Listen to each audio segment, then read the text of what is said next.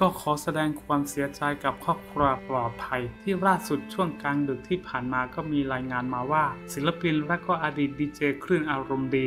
985 Good FM เจสุภาการปลอดภัย เสียชีวิตคาบ้านพัก โดยที่เพจ Facebook สรยุทธนาจินดา กรรมการข่าวรายงานว่า เวลาประมาณตีสองตำรวจสอนอทองตัน เจ้าหน้าที่กองพิสูจน์หลักฐานแพทย์เป็นโรงพยาบาลจุฬาและก็เจ้าหน้าที่มูลนิธิร่วมกตัญญูเข้าตรวจสอบเหตุใครผูกคอ ตัวเองในบ้านพักส่วนตัวจนเสียชีวิตภายในหมู่บ้านหรูย่านพัฒนาการ เขตสวนหลวงกรุงเทพมหานคร ภายในบ้านพบร่างของเจดสุภการ ศิลปินอดีตดีเจซึ่งก็เป็นลูกชายของเจี๊ยบการจนาพรปลอดภัยอดีตดารานักแสดงและก็ผู้จัดละครช่องเจ็ดเสียชีวิตที่บันไดและก็จากการตรวจสอบร่องรอยบาดแผลภายนอก ไม่พบร่องรอยบาดแผลอื่น ๆ ภายนอกจากรอยช้ำรอบคอเมื่อบื้องต้นก็ทราบว่านายสุภการนั้นอยู่บ้านกับพี่น้องรวมกัน 3 คน ช่วงเย็นวันนี้คนในครอบครัวออกจากบ้านไปธุระไปดูธุรกิจร้านอาหารเหลือเพียงแค่นายสุภการ